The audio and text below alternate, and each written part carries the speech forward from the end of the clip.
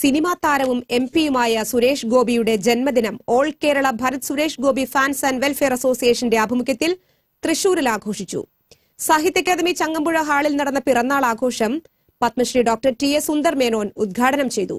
Fans association സംസ്ഥാന president Vinod M Azhakath അധ്യക്ഷത വഹിച്ചു.